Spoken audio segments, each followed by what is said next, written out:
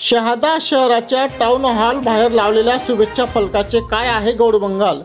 शहादा शहरात नव्याने उभारण्यात आलेल्या भव्य टाउन हॉलचे लोकार्पण थाटामाटात संपन्न झाले. लोकार्पण समारंभादरम्यान येथील नगरसेवकांनी लावलेला शुभेच्छा फलक मात्र चर्चेचा विषय ठरला आहे. नगर परिषदेतर्फे शहरातील जुन्या प्रकारच्या रस्त्यावर असलेल्या टाउन हॉलची नव्याने निर्मिती केली असून त्या जागी कोटी रुपये खर्च करून सुसज्ज अशा टाउन हॉलची निर्मिती करण्यात आली आहे.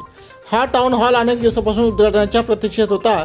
अखेर सत्ताधारी गटातर्फे गुरुवारी या टाउन हॉलचा लोकार्पण सोहळा मांडरांच्या हस्ते संपन्न झाला. या सोहळ्याला जिल्ह्यातील सर्व पक्षीय नेत्यांनी हजेरी लावली असली तरी या हॉल बाहेर येथील नगरसेवकांनी लावलेल्या शुभेच्छा फलकांनी मात्र सर्वांचे लक्ष केंद्रित केले असून हा एक चर्चेचा विषय ठरला. आहे. काही दिवसापूर्वी येथील डॉक्टर बाबासाहेब आंबेडकर पुतळ्याजवळ नगरपालिकेत झालेल्या गैरव्यवहाराच्या चौकशीसाठी संबंधित नगरसेवक उपोषणास बसला होता. यात टाउन हॉलच्या विषयाचा समावेश होता. त्यामुळे हे उपोषण चांगलेच गाडले होते परंतु लोकार्पण सोहळ्यात दरम्यान याच नगरसेवकाने शुभेच्छा फलक लावून नव्या चर्चेला वाट करून दिली आहे.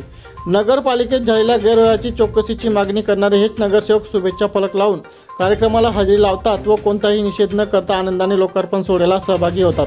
आपल्या प्रभागात चांगले काम झाल्याच्या फलकी लावतात. मग नेमका भ्रष्टाचार कुठे व कसा झाला होता? यामागील गौड बंगाल काय आहे? तरी काय? हा प्रश्न सर्वसामान्य जनतेला पडला आहे. या फलकावर उल्लेख केलेला अथक प्रयत्न कोणाच्या? नगरसेवकांनी लावलेला एक फलक राष्ट्रवादी पक्षाचे तर दुसरे नगरपालिकेचे गटनेते मकरंद पाटील यांच्या समेत असल्याने जनता बुचकड्यात पडली आहे. असो मात्र या फलकामुळे शहरात उलटसुलट चर्चेला उधाण आले आहे.